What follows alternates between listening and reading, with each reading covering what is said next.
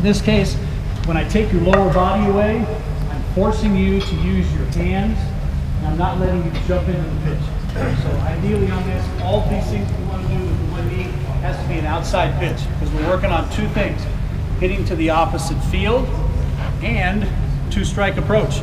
To hit with two strikes, you want to wait longer, let the ball get deeper. By doing that, you wait. Well, you have to do the same thing on an outside pitch, right? You don't chase and hit an outside pitch way up here. You have to let the ball get deep in the strike zone. So the guy that's flipping this drill, if you do come in on your own, needs to make sure he's flipping it over the outside part of the plate. And with the way we have it set here, I would try to throw it pretty much from this white line to the home plate area, really outside.